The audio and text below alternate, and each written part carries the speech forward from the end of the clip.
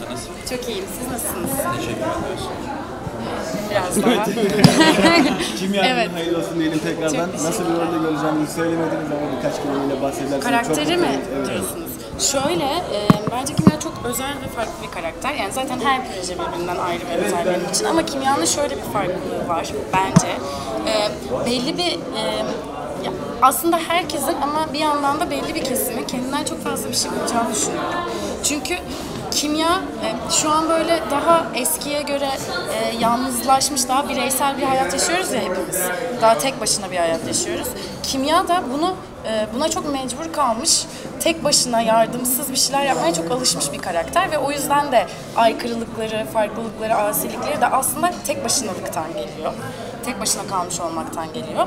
Ama e, burada bir gecede yaşamış olduğu dönüşüm, tanışmış olduğu kendinden yaşça büyük bir beyefendi, onda yepyeni böyle bir kapı ve yepyeni bir bakış açısı açıyor. Ve aslında hayatta aa, yardımlaşma da varmış. Hem de bunu yani hiç tanımadığın birinden de alabilirmişsin gibi bir şey, bir dönüşüm yaşıyor aslında. Bayağı anlattım bence. Sürpriz olsun deyip evet. Masumlara Fatma'nın salonu nasıl gidiyor? Çok güzel gidiyor. Orası çok keyifli. Zaten bütün bekliyorum. Zaten bütün oyuncu arkadaşlarımla önceden tanışıyordum. Bu çok büyük bir konfor. Çünkü oturmuş bir sete gitmek, ikinci sezonda dahil olmak her zaman zor. Hani ne kadar ekip çok tatlı olsa da, insanlar çok tatlı olsa da e, kurulu bir düzen, bir artık dil oturmuş oluyor ve oraya sonradan dahil olup o dili keşfetmek, anlamak ama bir yandan da hani süreci sekteye uğratmamak hani e, çok önemli oluyor.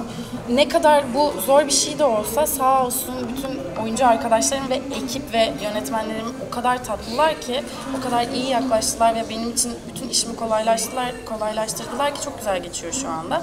Karakter de çok heyecanlı, çok farklı bir karakter yine. Ee, daha da e, açılacak ve daha da rüyanın farklılıklarına değineceğiz. Çok keyifli, bekliyorum bir an önce diğer bölümleri.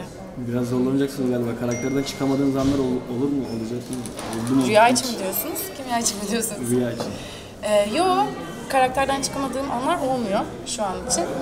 Çok da zorlanmıyorum. Artık böyle keyifli kısmındayım.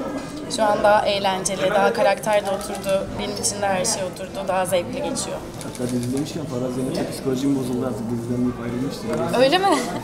Bilmiyordum ama yani zaten Masumlar Apartmanı. Peki son olarak da kimya yönetmeni eski sevgiliniz olması sizin için Evet. bir problem yarattı mı?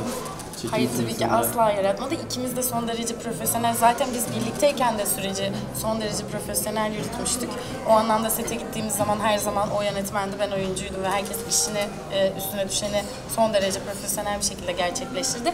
Bugün de gördüğünüz üzere yine hepimiz profesyonelce işimizin başındayız. Çok teşekkür ederiz. Çok sağ olun. Görüşürüz.